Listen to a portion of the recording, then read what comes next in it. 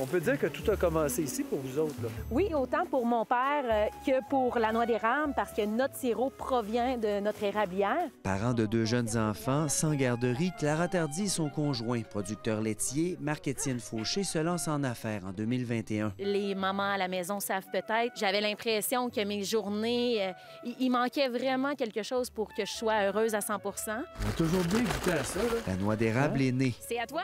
L'heureux mariage entre les pacanes et le sirop d'érable biologique de la cabane familiale. On goûte le sel aussi. Oui, ça- le sel fait toute la différence. Puis ça vient vraiment rehausser le goût d'érable. Trois ingrédients seulement. Nous, on a 88 000 en taille, deux bouilleuses électriques pour tout produire notre sirop d'érable, puis on vient fortement réduire notre empreinte écologique. Là. Il y a eu beaucoup d'essais et d'erreurs avec le sirop et le sel rose de l'Himalaya, avant d'en arriver à ces pacanes dorées. Le plus, la noix d'érable, c'est vraiment euh, l'amour qu'on a mis dans notre recette. J'en ai raté des, des, des batchs. Plein de tests et plein de calories mangées. C'est un succès dès le départ. Ça a été notre premier sac euh, qu'on a vendu. Je me suis fait un petit Excel avec tous les villages que je devais aller. Et je partais sur la route. Des fois, j'allais euh, à l'autre bout d'un rang pour porter un sac. Le couple n'avait que quelques points de vente dans la Beauce, comme ici, à la fromagerie La Pépite d'Or. Fait qu'on s'est mis à en mettre, ça s'est mis à se vendre. Puis ça a explosé quand Clara nous a donné des échantillons ou des dégustations. On a fait goûter ça aux gens. Fait que si tu y goûtes, c'est comme une drogue.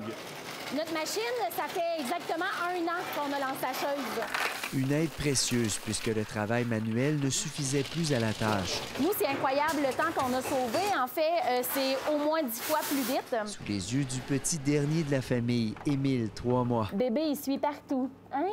Bébé pacane. Avec la conciliation travail-famille, depuis deux ans, ils ont vendu plus de 60 000 sacs et comptent maintenant 50 points de vente au Québec. On dit souvent, on est des typiques entrepreneurs beaucerons. On a tout fait. Euh, c'est nous qui avons développé le produit, notre logo, notre design de sac. On s'occupe euh, des réseaux sociaux, des ventes. Puis c'était un de nos rêves de se démarrer une entreprise ensemble. Et ce n'est pas terminé. Un premier employé viendra leur prêter main forte sous peu, puisqu'il compte lancer sur le marché prochainement une nouvelle saveur. Un petit peu plus foncé. On vient ajouter du café fraîchement moulu. Il y en a qui trouvent notre pacane très sucré et ça vient vraiment casser le sucre un petit peu. Là. Fait que là, moi, j'en ai profité. Alors, je veux vraiment faire goûter euh, vos pacanes à l'érable à mes collègues. Vous me laissez les sacs? C'est à toi. Oui, À bien ça. condition que tu nous donnes des nouvelles. vous donner des nouvelles. Ça, c'est sûr. Merci. Ça fait plaisir.